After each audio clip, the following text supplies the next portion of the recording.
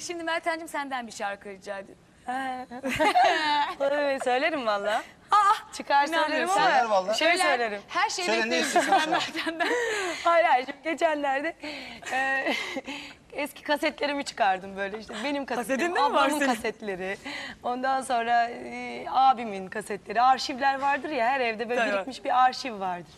Abimin kasetleri Santana'lar, Eric Clapton'lar, o yani o çocukluğundan beri hep çok kalite müzik dinlerdi. Hep bana da onları öğretti. Ben Janis Joplin dediğim zaman 9 yaşında benim hiçbir arkadaşım bilmezdi ama ben bilirdim ve söylerdim öyle.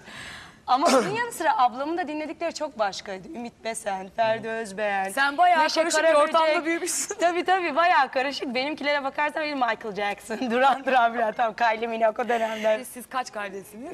Dört Ee, ama üçüz Üç şimdi. üçsünüz şimdi. Ee, o kasetlere bakıyorum böyle matrak tabii geliyor bana çünkü o dönemlere döndürüyor beni hep. En son Neşe Karaböcek'in kasetini koydum ve bir anda bütün parçaları ezbere bildiğimin farkına vardım.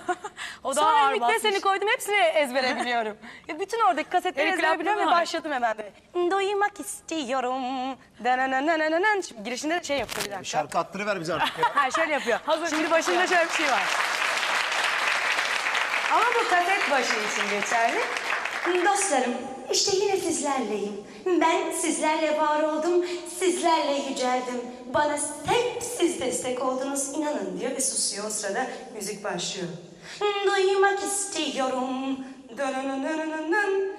Duymak istiyorum. Ben bu dünyayı, neşeyi, kederi, mutluluğumu ne geçti yerime bunca zamandır anlamadım hala var olduğumu uzatıyorum.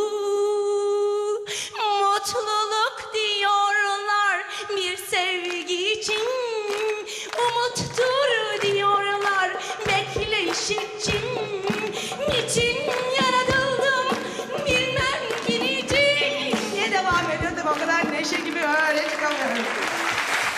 Ama Neşe Karaböcek'in ağzına sağlık. Bunları, vallahi bunlar çok önemli ya. Yani bunları bilmek çok önemli ya. Yani Türkiye geçmişi ve bugününde... Aa,